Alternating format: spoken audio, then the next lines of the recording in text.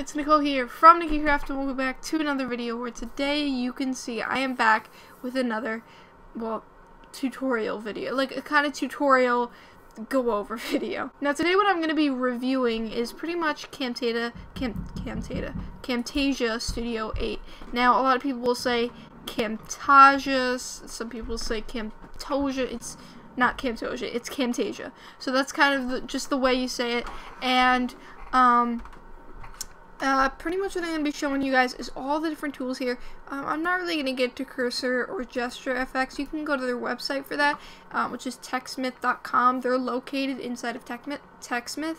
So I don't really that this I, I like this part cursor effects and some like I like this I'll I might show you guys how to do that but this almost is useless just to me because I don't do really hardcore recording, if you're like a serious recorder who literally edits like mini movies or something, then you might want to use that.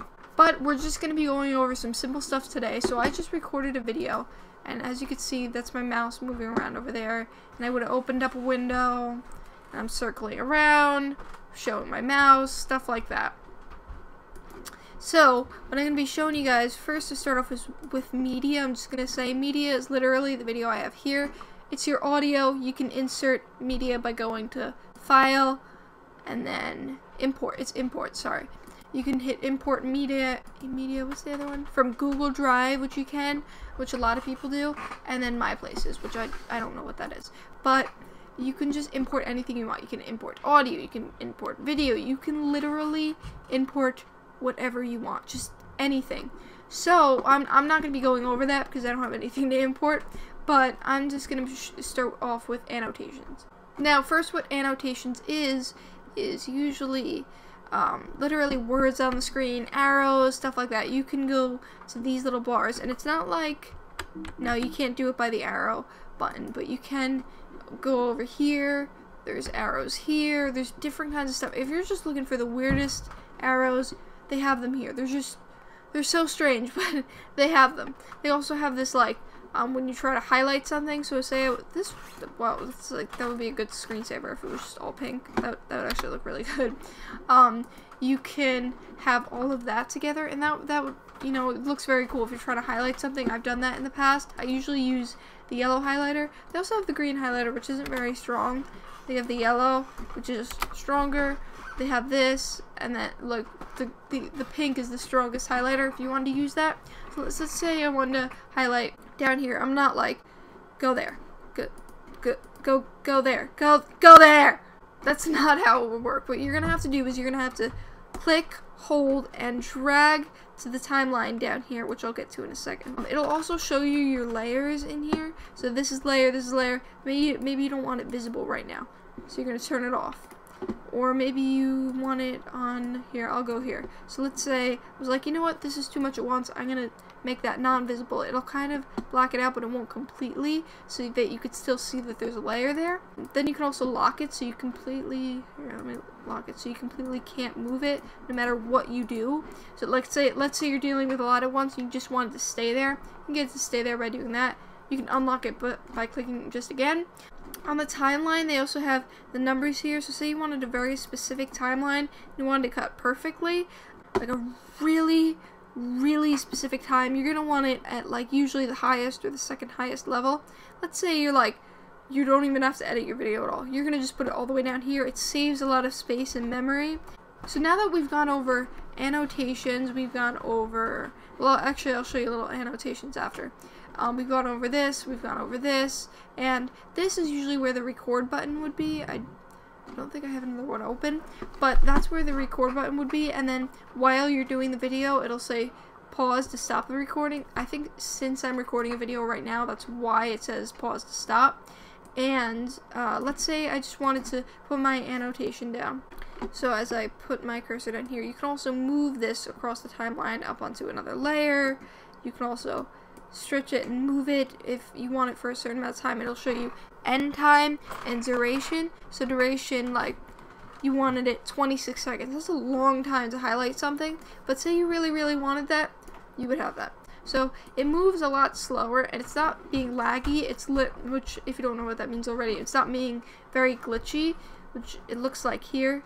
It looks very glitchy, but it's not. What it's doing is it's just trying to line up with the specific line, lines because it knows when you're in that mode, you're trying to be very specific with, with your cutting. So let's hit play, and as you can see down here, or no, it's not in the right spot. Um, I can click it again.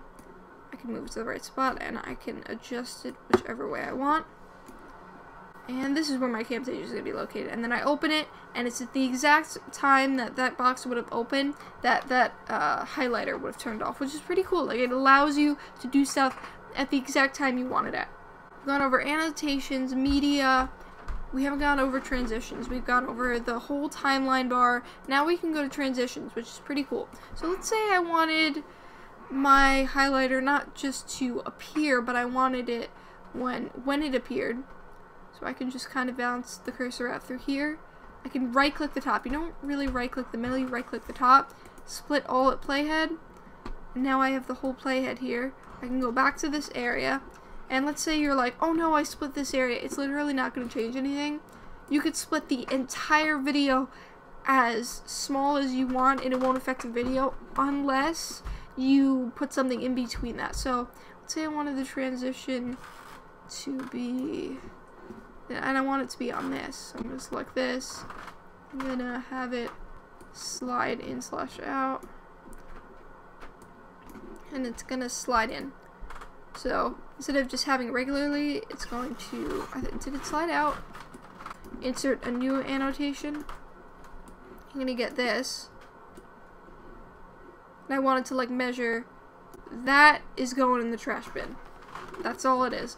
And I can make this a lot shorter actually, but I can add that by having that area and the transition between it. So at the beginning of it, it's gonna fade in slash fade out. So as you can see now, now it fades in. There we go. So I wasn't doing the right thing with the, the highlighted pink, but as you can see, you can allow it to fade in slash fade out. And you can add as many as you want. Well, not transitions, because you can only do so many transitions at once.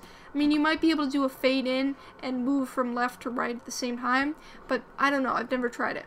And let's say I wanted it to be colorized. Right, so... Oh wait, I, I colored the wrong thing. Um, colorize. Oh wait, no, I colored the right thing. Yeah, now now I'm coloring the screen. So now the screen is green, and if I wanted to do that, I could just drag and drop um, stuff to the videos. So as you can see, we went over media, annotations, annotations and transitions, and um, video effects connect all the way. They just, they're like literally a web and you can just drag and drop all the time, but you have to make sure you're doing it the right way and go over it a couple times. Otherwise, you may do the wrong thing and your video won't come out the way you like it to. So now that you can see here, um, we have we went over, we didn't go over animations. I want to go over animations with you guys. So I'm going to add in another annotation to make an animation because you can't just animate nothing. Um, you, you could animate your screen if you wanted to, but I'm not going to do that. I'm to do custom because I really like custom animations the best, and custom is the one you're going to want to know the most. Now, it probably shouldn't be bright green, or I can just, um, I'll show you one thing right now. So you, you were like, oh no, I don't want my screen to be green. What you can do is show properties. You right click and show properties. And then you can just turn it off whenever you want. I think you can no, not copy FX. I can't, I can't, I, like, I just did it before. I keep doing something wrong, but if I didn't want the colorize, I could just turn the colorize down. And, so I like that color, that's nice. And I can make it that color, and it would just turn into that. That's actually a lot nicer than the original one there. So, now that we have this arrow here, now we want this arrow to move across the screen. So, we're going to go into animations, we're going to do custom, we're going to drag it there and now we have a custom animation. So now we want to maybe move it over here, because at the original spot, it's going to move your cursor over here, because wherever your arrow was to begin with is where your arrow is going to start off as, and it's like, whatever was before doesn't matter, it's already going to be there. What matters is where your arrow is going to go now. I don't, I don't know why, I'm just going to have it point here, because I can. And I don't know where this else this is going, but let's say we were trying to measure the extent of something. We can just hit play, And as you can see, the way I move the arrow from before, where I started to begin with, and how it I moved it to spin it, and then I put it in the exact same spot it should be. Now it moves within time because you can you can move it to the spot you want it to be at and then turn it and it will add both of those together. It won't be like moving to the spot and now turning the arrow. It'll mesh both of the things together at the same time. So now that we've gone over pretty much everything, uh, Video FX, I just wanted to say we use the colorize button over here. Um, Video FX allows you to just, you could see, you could click and it'll just show you what it is. It's just like hey, you want some extra cool stuff or something, or interactive hotspot, which I found really cool, TechSmith, which I, I might have told you guys before, you can go to their website. Um, they have Camtasia there, you can download Camtasia there, and it colorizes everything. This is just like the fun bar. It's the second most fun right next to annotations. Now uh, to Audio FX. Audio FX is literally it's just it's boring. It's literally just your audio, but say you're you're recording like a music video or something. Your audio is going to be really really important and you wanted your personal captions. Maybe you would have like sorry about that, meant to say blah blah blah blah. Now you can turn um captions on in YouTube. Obviously they're pretty good, but sometimes if you say something a certain way, um it won't catch it correctly. So if you said pineapple, it'll say shoes. You know what I mean? Like it it won't make any sense, but sometimes um, you just need to do it at Camtasia and turn off captions on your video, and you'll have your own captions by Camtasia, which is great. They have great captions. I've tried it before.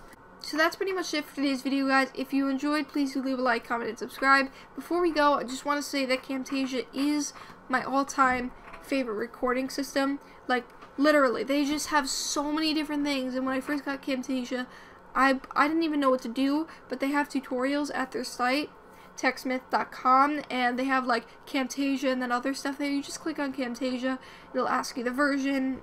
I, I don't know if it asks you the version, it might just bring you to the modern version. You want to make sure you're on Camtasia 8. Camtasia Studio 8, which is very important because 9 is very, very new and the setup is a little bit different. So it, it'll look a little bit different. It's like having an Apple phone and then you get a Samsung, which I I had. Now I have a Samsung.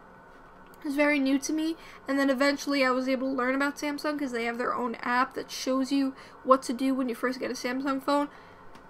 TechSmith does the same thing. They allow you to show what Camtasia does, and if you need any help, just ask them, and they'll help you with everything. So that's pretty much it for today's video, guys. If you enjoyed, so that's pretty much it for today's video, guys. If you enjoyed, please do leave a like, comment, and subscribe if you haven't already. And until next time, goodbye.